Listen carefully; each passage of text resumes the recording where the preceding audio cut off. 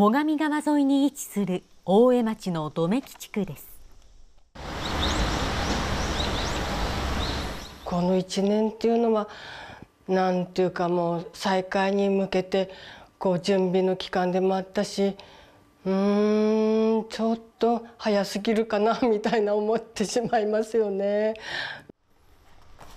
温泉旅館を営む柏倉京子さん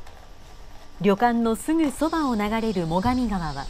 去年8月3日その表情を変えました。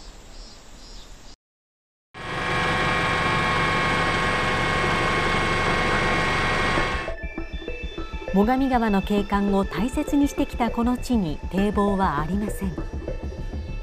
川の氾濫により土目地区など3つの地区で住宅などへの浸水が発生しました。うんちょっと異常ですね、やっぱり2年前もこの状況だったので、あまりにちょっと立て続けすぎるのかなっていう。数十年っていうより、何年かほど来てるような気がするんですけど、最近は。さらにここは、その2年前の7月にも氾濫し、柏倉さんの旅館は過去3年の間に2度も浸水被害に遭い、旅館の休業を余儀なくされました。新しく再開したのがその2年前の10月20日だったんですよ。再開したのが、えー、で3ヶ月半ぐらい休んだのかな、うん、2年前は。だから今回もちょっとどの頃まで休まなきゃいけないのかなっていうのはちょっとね豪雨から2ヶ月後の去年10月3日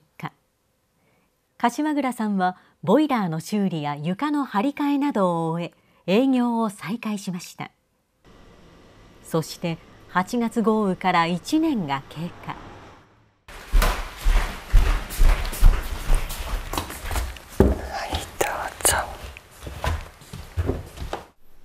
ところどころ床に穴の開いた客室や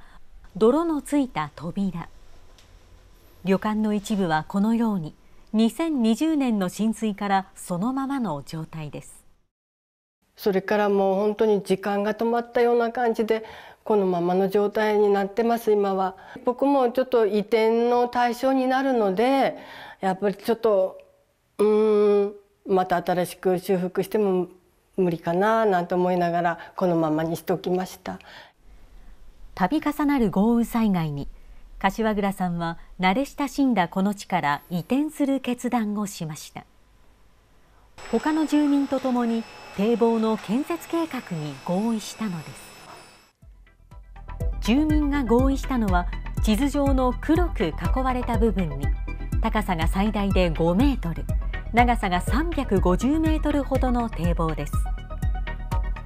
建設主体となる国土交通省山形河川国道事務所は2027年度中の完成を目指しています。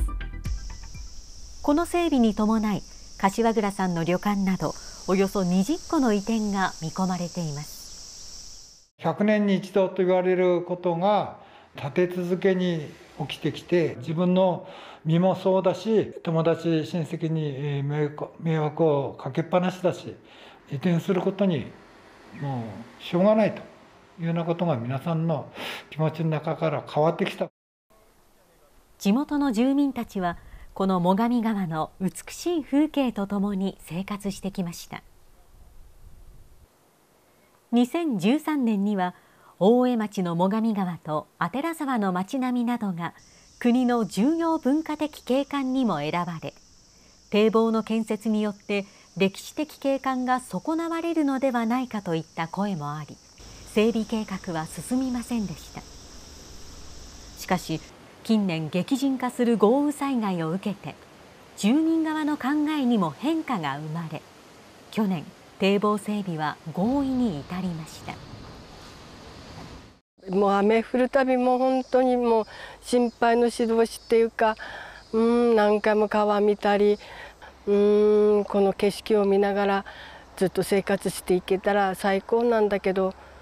それも叶わないんだったらまあ安心して生活したいね。堤防の整備計画をめぐっては今年5月にも住民説明会が開かれていますが詳細な設計計画はまだ示されていません。防災の視点から早期の建設が望まれますが